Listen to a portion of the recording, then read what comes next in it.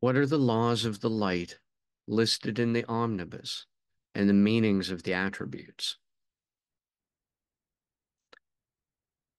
The term law of the light in the context of the Atlantean constitutions of the seven chief executives refers to the law of one in Atlantis, that being that there is no law.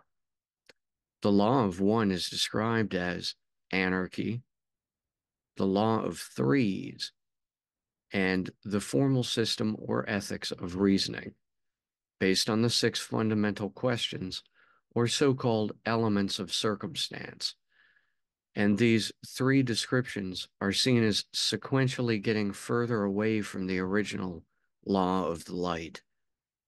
Thus, anarchy describes the law of one, the second law is the law of threes, and the third law of the light is the six questions of logical reasoning. As to the attributes of the law of the light, there are also many titles given to it, of which four are listed in the constitutions, those being the Most High, the True Will, the Greater Light, and hyperspace tachyons.